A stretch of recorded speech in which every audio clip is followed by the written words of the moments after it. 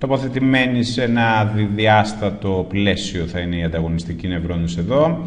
Ε, το πλαίσιο είναι 6x6, οπότε οραματιζόμαστε ένα τέτοιο πλαίσιο που εδώ πέρα είναι τοποθετημένοι με μια γυτνίαση σε 6x6 συνολικά ανταγωνιστικοί νευρώνες, άρα εδώ πέρα μιλάμε για 36 ανταγωνιστικούς νευρώνες. Ε, και έχουμε επίσης και 6 νευρώνες εισόδου, οπότε εδώ οραματιζόμαστε και 6 νευρώνες και κάθε νευρώνες εισόδου στέλνει α, την είσοδο σε κάθε έναν από τους ανταγωνιστικούς νευρώνες.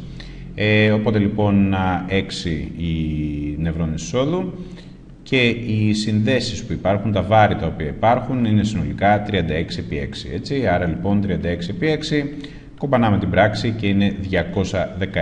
Άρα λοιπόν σωστή απάντηση είναι η απάντηση Γ.